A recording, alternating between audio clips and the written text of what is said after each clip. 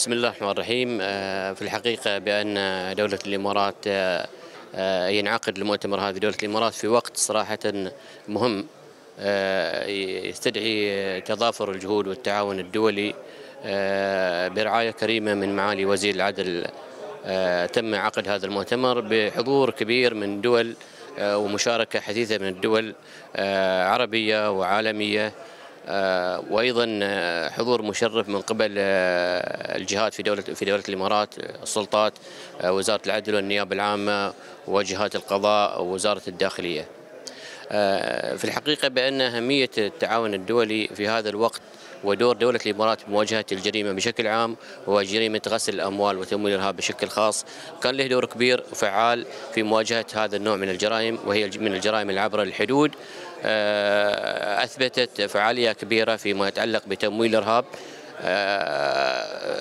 دولة الإمارات أثبتت فعاليتها وكذلك مواجهة غسل الأموال.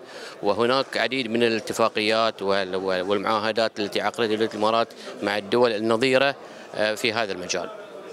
اليوم حقيقة بانطلاقة مؤتمر آه، آه، الأول للسلطات المركزية لمكافحة آه، آه، جرائم غسل الأموال وتمويل الإرهاب في دولة الإمارات يأتي لأهمية هذا النوع من المؤتمرات باستجابة 32 دولة قد آه، قبلت ووافقت على الحضور وتقديم العروض الخاصة في هذا المجال.